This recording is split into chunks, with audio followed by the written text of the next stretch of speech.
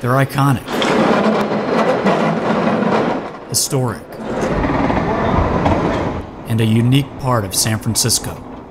In a town known for its steep hills, cable cars have been an important element of the city's transportation system for more than 100 years.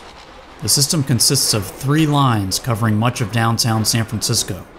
The San Francisco Municipal Railway handles operation, while Market Street Railway, a local nonprofit, helps with restoration and preservation. What makes the cars so special is that they're completely mechanical. In fact, they are the last manually operated cable car system in the world.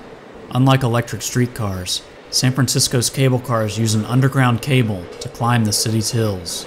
The car's driver, or grip man, uses a mechanical grip to latch onto a cable that runs under the street.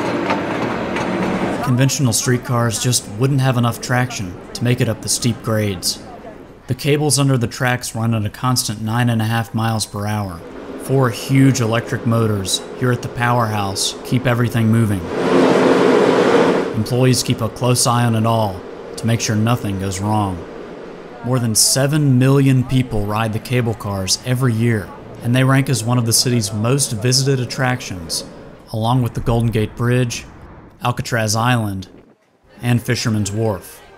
But the cable cars are not just an important part of San Francisco's history, they also proved to be a small piece of the American story when, in 1964, they became the first moving National Historic Landmark. San Francisco's cable cars have truly withstood the test of time. Technology is constantly changing, but on these hills, there's one thing that will stay the same. These historic machines will never stop climbing.